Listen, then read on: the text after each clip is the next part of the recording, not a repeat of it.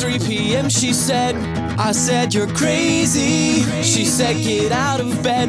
Why are you so lazy? Why waste the day away? I said, Because I'm tired. Wendy's called, by the way, they told me that you're fired.